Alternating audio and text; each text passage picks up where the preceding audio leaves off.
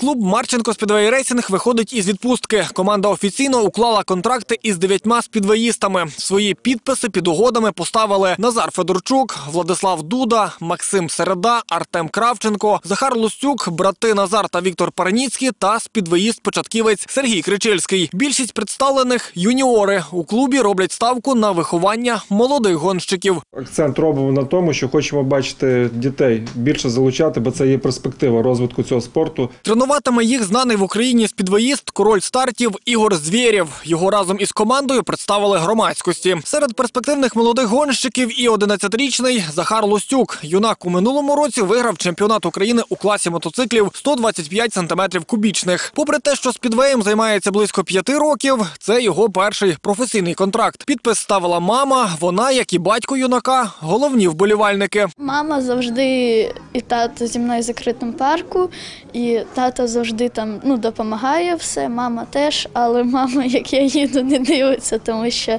їй ну, страшно дивитися. Але вона, наприклад, тільки за, за те, що я їжджу. Ну, і коли тато сказав, що ну, мене хоче на спідвей записати, мама підтримала, була за. Серед найтитулованіших та найдосвідченіших у команді 31-річний Віталій Лисак. Угода з підвоїста розрахована на два роки. Це дає мені можливість е, тренуватися.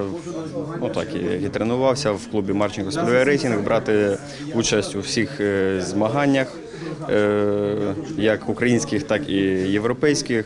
Е, клуб надає мені можливість, е, навіть не так забезпечує мене технікою, е, паливом, е, маслами, ну всім, що необхідно для е, тренувань і змагань. Попередньо рівненський клуб ставив цілі заявитися у другу польську лігу. Від цієї ідеї не відмовилися. Її відтермінували у часі. Року прогнозують у клубі має вистачити, аби сформувати команду. Ми могли б інших там запросити легіонерів, але ми хочемо бачити своїх в першу чергу. Ми будемо рухатись до польської ліги, і в цьому році плануємо максимум зусиль на, докласти на виховання молодих, саме молодих спортсменів, які будуть е, елітою, думаю, в подальшому будуть елітою українського е, спідвею і представляти наше місто і всю Україну. Ми маємо на сьогоднішній день дуже потужні, хороші мотоцикли.